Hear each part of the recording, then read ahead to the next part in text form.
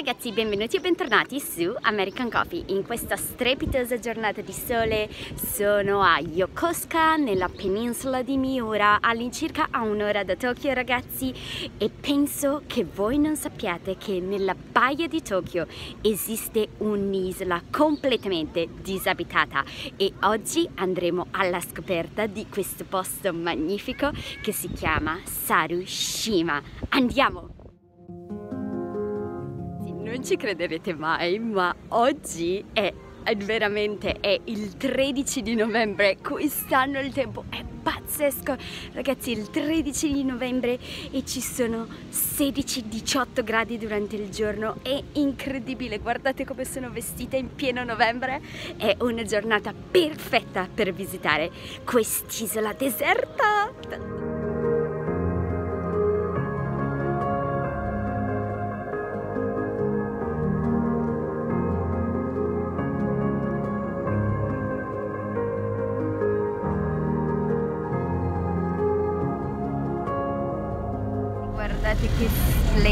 splendore il monte Fuji lo vedete? Magnifico pulitissimo.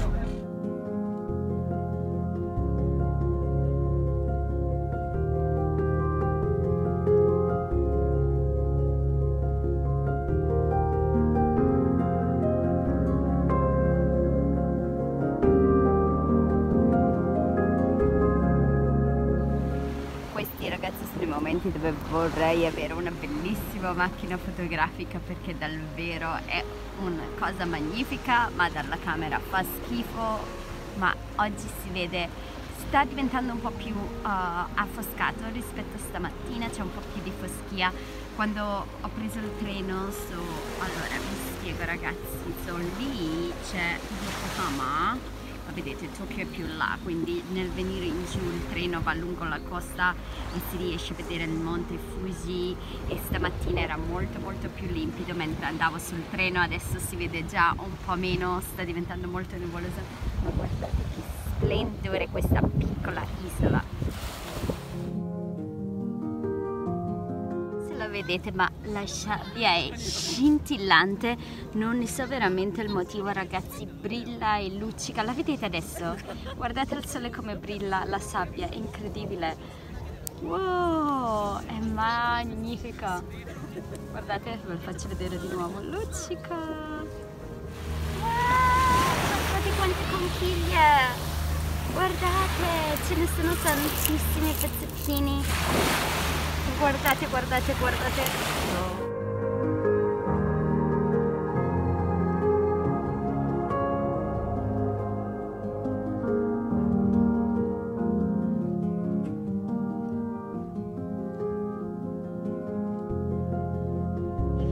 Vedete c'è la gente che appunto fa i barbecue e c'è la gente che eh, pesca con la canna. So potete noleggiare i barbecue, le sedie, i tavoli e l'ombrellone tutto venendo qua a Sarushima so logicamente nella stagione alta è consigliabile prenotarli perché c'è un limito limitato appunto di um, barbecue e altre cose. Se invece volete potete uh, portare la vostra tenda uh, o il vostro telo da mettere giù quindi non dovete per forza pagare le sedie e il tavolo.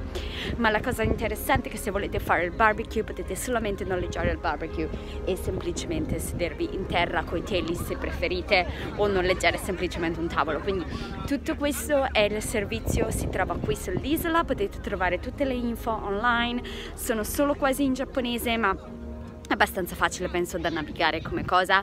E eh, niente semplicemente la gente viene qui e può fare i barbecue. E oggi è la giornata perfetta. Guardate com'è sereno il cielo. Incredibile ragazzi una giornata magnifica. So a Sarushima non c'è solo la spiaggia questo è il primo stop quando arrivate. Ah logicamente c'è anche un ristorante con il cibo e l'info center quando arrivate i bagni quindi c'è tutto. So perché quest'isola è disabitata dite c'è un sacco di gente, ci sono i bagni, c'è il ristorante, perché essenzialmente nessuno resta sull'isola la sera, tutte le sere tutta la gente va completamente via, quindi non ci sono case, non ci sono abitazioni, non c'è nessuno che vive sull'isola, quindi tutte le sere tutti quelli che lavorano vanno via e ritornano al mattino, quindi l'isola è completamente deserta ogni notte.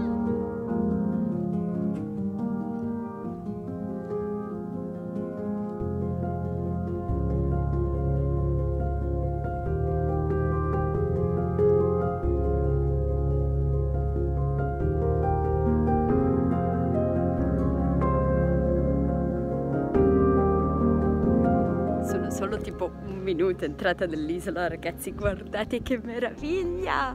Le foglie stanno cambiando colore col sole è bellissimo! So quest'isola logicamente ha un sacco di storie un sacco di passato ci sono tanti reperti di, va- di varie aree e appunto nel periodo Meiji che è appunto quello che va dalla metà del uh, 1800 fino a poi la seconda guerra mondiale è appunto dove c'era una fortezza appunto sull'isola quindi era un punto di strategia e c'era appunto uh, Uh, la, il punto di difesa appunto per il porto di Yokohama, quindi ci sono tante strutture rimanenti sull'isola appunto che possiamo visitare oggi.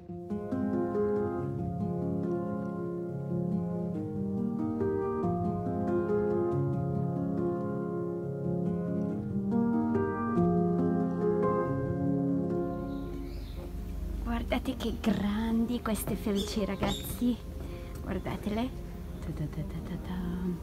Sono ovunque questi muri, guardate che bello questo posto.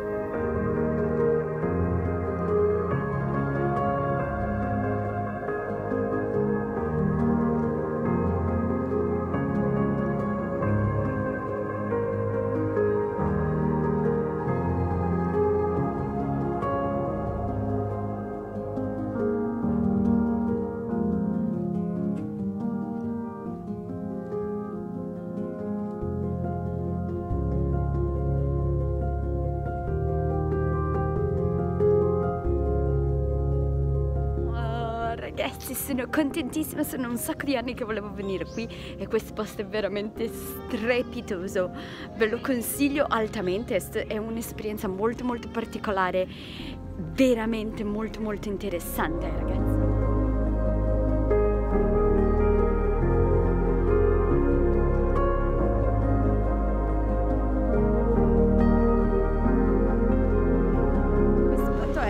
ventoso e freddo, so vi do un po' della geografia di dove sono per spiegarvi un po' cosa vediamo. Questa dietro di me è la baia di Tokyo ragazzi, come vedete è grandissima. Allora, lì c'è Yokosuka da dove sono arrivata, questa è Yokohama, quindi questa è la prefettura di Kanagawa ragazzi. Non si può vedere da qui, ma lì di fronte a me c'è appunto Tokyo, quello è la prefettura di Tokyo e invece qua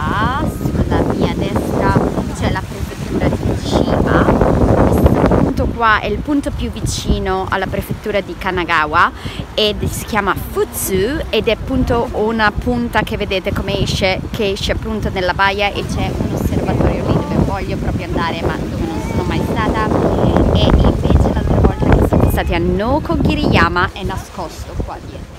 Una cosa che dovete sapere del Giappone, c'è sempre gente, guardate, guardate, guardate, guardate, benvenuti a Tokyo ragazzi, c'è gente ovunque, come sempre.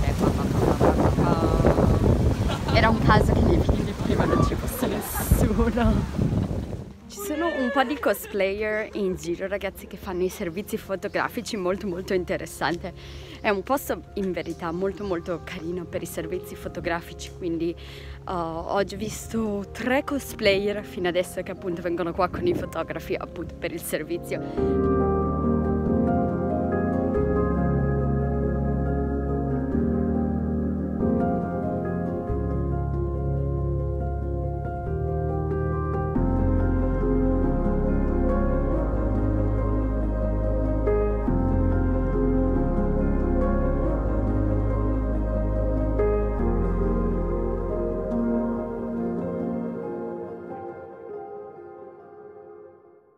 Ecco lì l'isola dove siamo appena stati ragazzi, sono ritornata appunto a Yokosuka.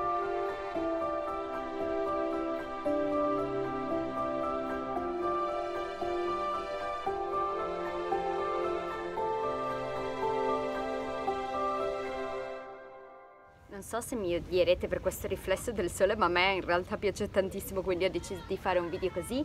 So ragazzi sono appunto rientrata da uh, Sarushima. So Saru vuol dire uh, scimmia. Saru vuol dire scimmia e in Shima vuol dire isola. Quindi isola delle scimmie. Ci sono le scimmie su quest'isola? no non ci sono e non ci sono mai state. Adesso non mi ricordo esattamente perché si chiami così ma l'avevo ricercato su internet e vi assicuro che non ci sono mai state questa parte me la ricordo. So ragazzi quanto mi è costato andare a Sarushima? So io vivo a Shinjuku da Shinjuku per venire qua a Yokosuka il mio biglietto del treno è costato 807 yen uh, solo andata quindi andata e ritorno mi costerà 807 yen andata e poi ritorno prezzo dipende molto da dove vivete a Tokyo. Per me è molto facile venire qui. Prendo il treno dalla stazione vicino a me e poi cambio a Yokohama e da Yokohama prendo la KQ Line appunto per venire a Yokosuka. Questa non è la mia prima volta qui. Se avete visto i miei video in passato avrete visto che sono stata qui di recente per andare poi nella prefettura di Chiba. Quindi guardate il video lo trovate sotto e in fondo. So quanto costa andare sull'isola? Una volta arrivati qua dovrete prendere un treno traghetto. Non potete sbagliare ragazzi c'è solo un traghetto solo una compagnia e in totale costa a 1600 yen.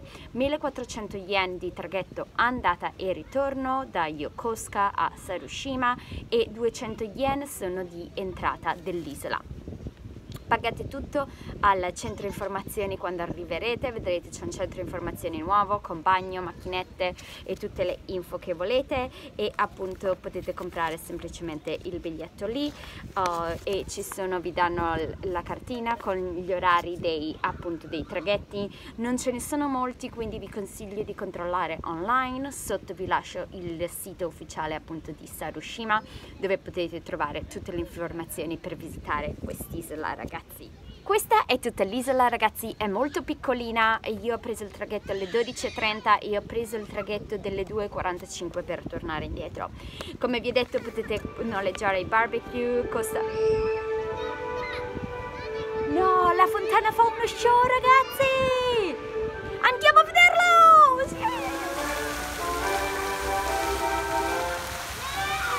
Stra carino! Sono felicissima! Adesso mi guardo lo show ragazzi!